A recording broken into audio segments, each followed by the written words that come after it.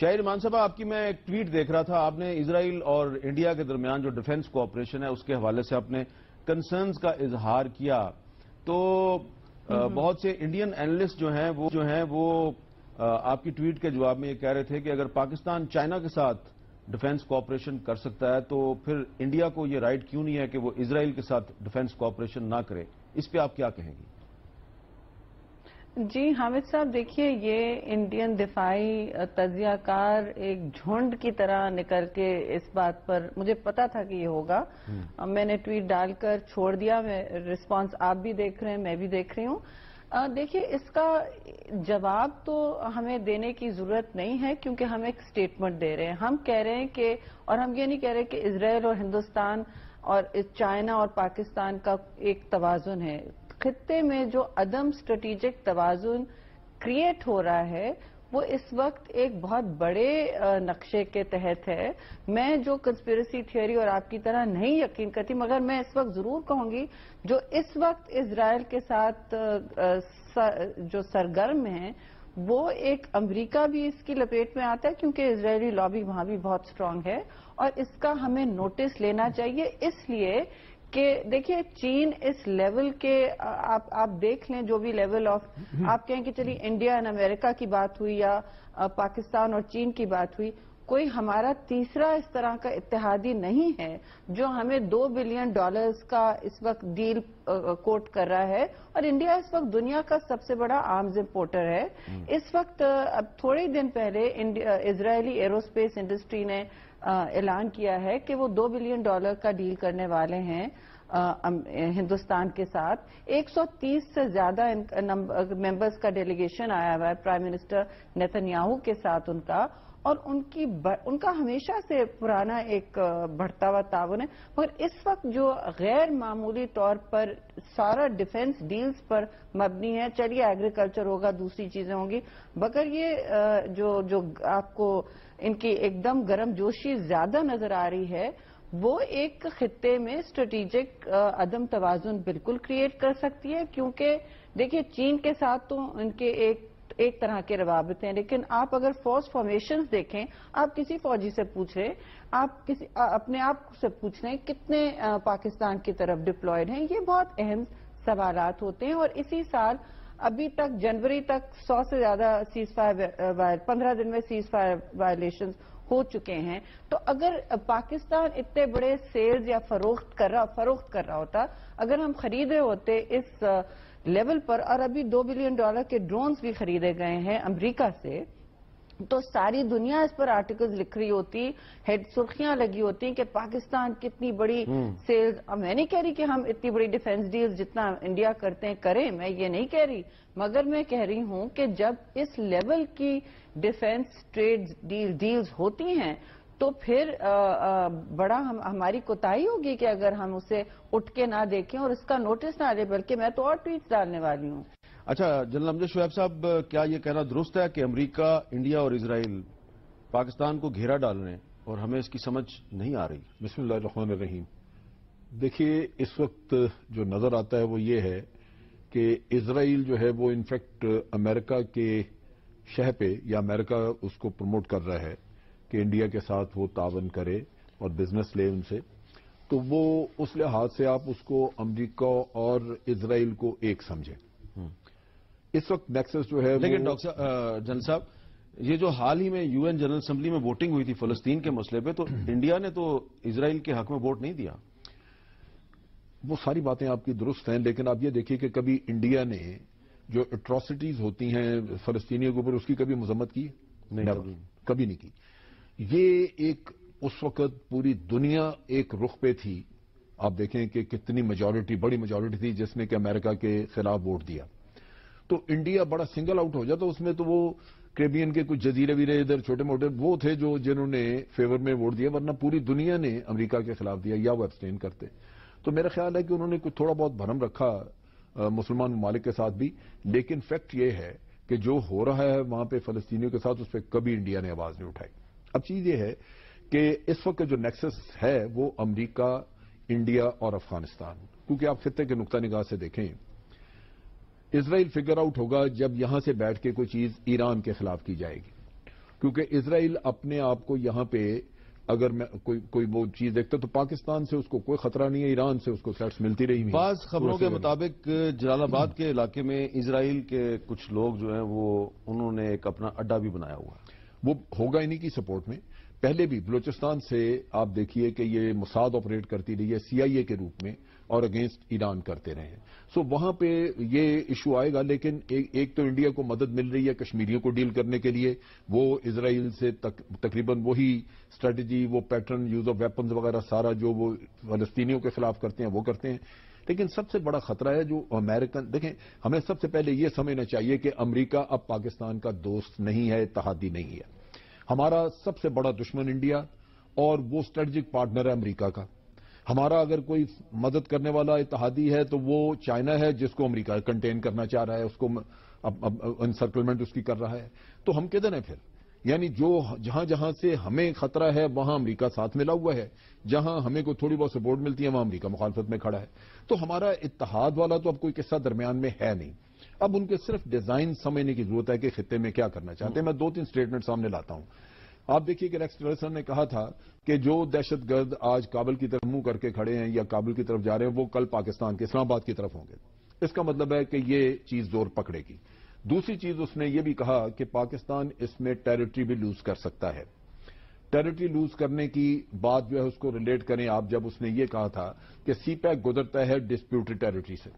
اب امریکہ کو disputed territory اب یاد آئی امریکہ نے تو ڈسپیوٹڈ ٹیریٹری میں منگلا ڈیم بنائی تھی۔ کبھی ذکر ہی نہیں آیا اس چیز کا۔ سو ایک ریلیونس ہے اس کی سی پیک کے ساتھ۔ اب اگر یہ جو ٹیریٹری لوز کرنے کی وہ دھمکی دے رہے ہیں کون سی ٹیریٹری ہے؟ میرا اپنا خیال ہے کہ اس کی ریلیونس سی پیک سے ہوگی اور اس میں سب سے جو چیز مجھے ریلیونٹ نظر آتی ہے وہ گلگت بلتستان کا علاقہ جہاں ڈسپیوٹڈ ٹیریٹری کی بھی انہوں نے بات کی۔ جہاں کے لوگ جو باہر کام کر رہے ہیں ان کو انڈیا آلریڈی ان ٹچ ہے ان میں سے بعض کو ٹریننگ دے رہے ہیں۔ بلتستان میں کوئی انسرجنسی شروع کرنا چاہتے ہیں؟ دیکھیں گلگت بلتستان جو ہے اس کو انہوں نے ڈسپیوٹڈ ایریا میں اگر پک اپ کریں تو بلوچستان تو نہیں ہے یہی ہے ڈسپیوٹڈ ایریا سو یہاں پہ اگر کوئی ایسی چیز ہوتی ہے تو کشمیر کے ساتھ آپ دیکھ لیجیے کہ اگر کوئی جگہ پکڑی جاتی ہے لے جاتے ہیں وہ وہاں پہ پرماننٹ ایک طرح کی آپ کے ہاتھ سے نکل جاتی ہے۔ یہاں پہ سب سے امپورٹنٹ چیز یہ ہے کہ انڈیا بنگلہ دیش پیٹرن یوز کر سکتا ہے۔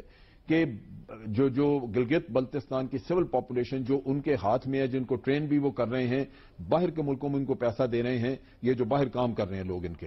اور ان کو یوز کرتے ہوئے ان کے ساتھ اپنی سول کپڑوں میں آرمی وغیرہ یوز کر سکتے ہیں وہ انسرجنسی کرا سکتے ہیں جس کے ذریعے یہ علاقہ ڈسٹرب ہو سکتا ہے اور سی پیک آپ کا بہت سیریس بات کر رہے ہیں۔ میں آپ کو ایک اسسمنٹ دے رہا ہوں۔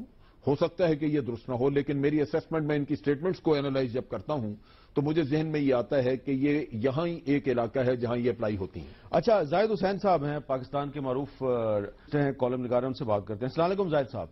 وعلیکم السلام۔ زاہد صاحب جنرل امجد شعیب صاحب کہہ رہے ہیں کہ ہندوستان کی طرف سے گلگت بلتستان میں ایک علیحدگی پسند کی تحریک جو ہے اس کو کریٹ کرنے کی کوشش کی جا سکتی ہے اور انسرجنسی بھی شروع کروائی جا سکتی ہے۔ جبکہ بلوچستان کے بارے میں تو پہلے ہی بھارت کے عزائم کسی سے ڈھکے چھپے نہیں ہیں۔ آپ جنرل صاحب سے اتفاق کرتے ہیں؟ دیکھیں، ایک طرف تو یہ تو یہ صحیح ہے، یہ بات کہ جو ہے وہ کہ جو ہے اس وقت ہندوستان کی جو کوٹ آپریشن ہے پاکستان میں، وہ تو بڑھتی جا رہی ہے۔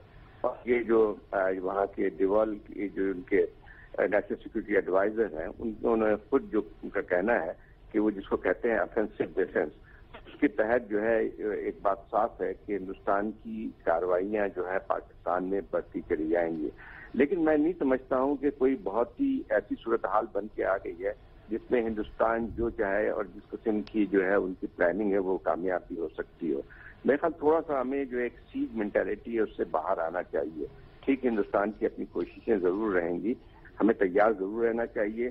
ہمیں اس بات کا ادراک ضرور رکھنا چاہیے کہ جو ہے دشمن ہمارے لیے کیا کرنا چاہ رہا ہے۔ لیکن اگر فرض کیجیے ملک کے اندر ایک سیاسی استحکام ہوتا ہے، ملک کے اندر جو ہے نظام ٹھیک ٹھاک ہوتا ہے، تو اس قسم کی کاروائیاں اتنی آسان نہیں ہوتی ہیں۔ تو آپ جو میں ذرا یہاں پہ ایک چیز ایڈ کر دوں تاکہ یہ کر سکیں۔ دیکھیں میں نے تو یہی کہا ہے کہ یہ ان کی سوچ ہو سکتی ہے، یہ کر سکتے ہیں۔ لیکن اس کے سپورٹ میں میں ایک اور چیز آپ کو بتاؤں۔ آج یہ سی پیک کو ختم کرنے کا سبجیکٹ نہ صرف اس کے لیے پیسہ را کے لیے مختص کیا مختص کیا وہ انہوں نے بلکہ ان کے نیشنل ڈیفنس کالج میں ملٹری کو یہ پڑھایا جا رہا ہے۔ اس پہ ایکسرسائز کروائی جا رہی ہیں کہ اس کو کیسے کیا جا سکتا ہے۔ سو اس کو ایک ریئل تھریٹ سمجھنا چاہیے۔